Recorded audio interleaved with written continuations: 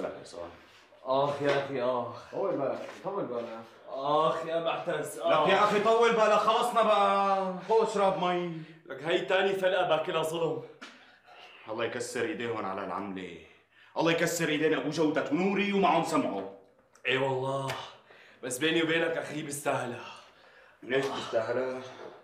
اليوم الصبح زعلت لأمك. قام الله ما بيت لي اياها دغري عاقبني عليها. وبشو زعلت لامك؟ رفعت صوتي عليها طلبت حصتي من ورثة أبوك.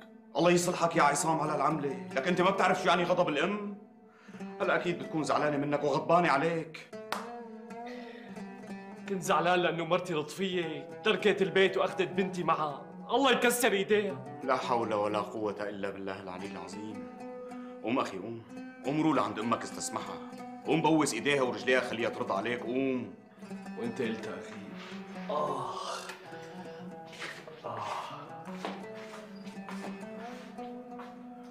معناتها كان بده إياها هالفلقة عم يغضب أمه مشان مرته استغفر الله العظيم. استغفر الله العظيم.